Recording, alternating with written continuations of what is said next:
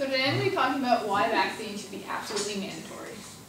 Some people may be against using vaccines for reasons such as religion or that they prefer natural immunity, which means they don't want a vaccine to help their immune system when dealing with a virus. Rather, they want their immune system to take care of the virus and develop antibodies by itself.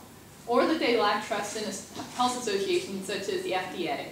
Because some people may believe that uh, vaccinations lead to uh, problems such as autism, but there's not enough research to connect those two together. So they really shouldn't have lack of trust when the FDA knows what it's doing.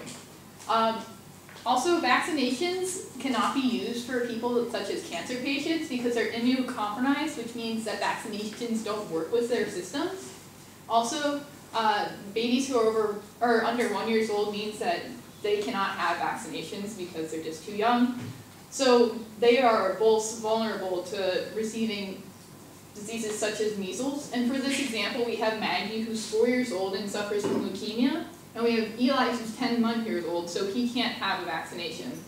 And both Maggie and Eli contracted measles, which put them in isolation for three weeks. But luckily, both of these two survived, but in most cases, this might not be the truth. So when you're considering your freedom and trying to express yourself through using vaccinations or not, also take in consideration the lives of others and realize that your choice has an impact on the safe and healthy health of others. Thank you.